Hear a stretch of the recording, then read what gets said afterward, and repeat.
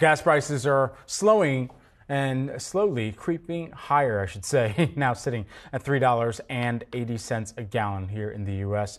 And with a new Wall Street Journal poll showing just 37% approve of President Biden's handling of the economy, could this spell trouble for his upcoming reelection campaign? Yahoo Finance's Rick Newman joins us with the details. Hey, Rick.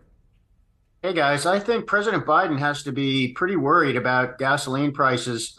Uh, one reason is that we are seeing oil prices go higher uh, and they seem likely to go higher still for uh, reasons that President Biden can't really control. Uh, Saudi Arabia has done a big um, production cut. Um, Russia also uh, has cut production. And both of those countries have said they're going to continue those production cuts through the end of the year, suggesting perhaps they could continue them into 2024. Uh, so we're now seeing oil around uh, 85 bucks a barrel, and I'm seeing some uh, some projections saying it could go to the mid 90s and even up to $100 per barrel. And that's just because of the global market dynamics for uh, for oil. The last time we had oil at $100 per barrel, U.S. gasoline prices were around $4.40.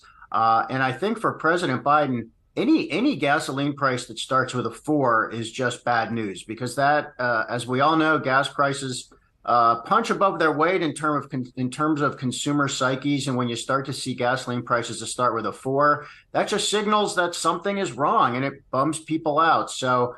Uh, this is something I think the White House is paying extremely close attention to.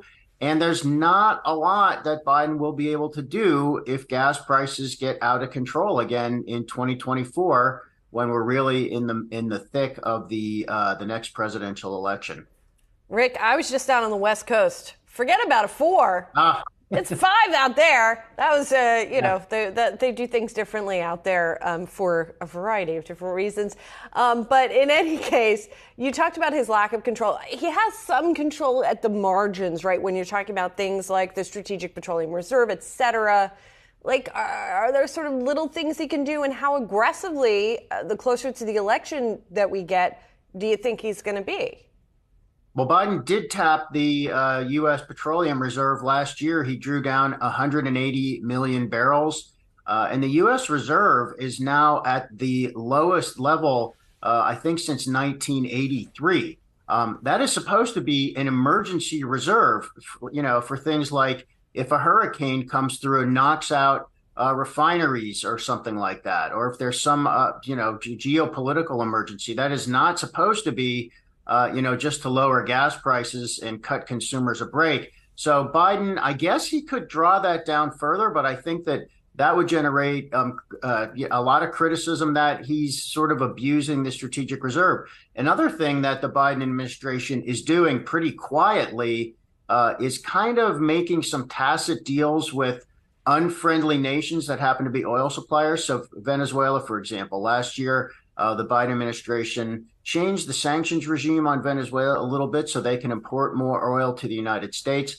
Um, there have also been some kind of behind the scenes uh, negotiations with Iran uh, with regard to their nuclear deal and the sanctions uh, in there. That and, and Iran has actually been producing more oil, putting it into the global market. They're not necessarily selling it to the United States, but any any additional oil that goes into goes into the global market uh, will help keep prices down. And then there's also this um, price cap again, uh, on Russian oil, and there have been some calls to lower that price cap uh, to further punish Russia for its invasion of Ukraine. And it seems there's no chance that uh, the Biden administration is going to try to lead the big nations known as the G7 to lower that price cap because that could mean less Russian oil. So there are things you're not seeing that the Biden administration is doing to try to keep oil supply going. And one last thing I'll mention here in the United States, we're probably going to see a new high, uh, a record high in terms of U.S. oil production. And that's not because of anything the government's doing. That's just private sector producers saying uh, prices are high, so we want to pump more because we're going to make money off of it.